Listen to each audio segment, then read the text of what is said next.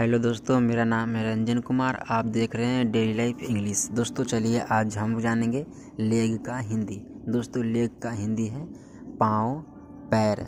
दोस्तों, अभी के लिए इतना ही। मिलते हैं अगले वीडियो में। वीडियो अच्छा लगा हो तो सब्सक्राइब करें हमारे यूट्यूब चैनल को। तब तक के लिए धन्यवाद।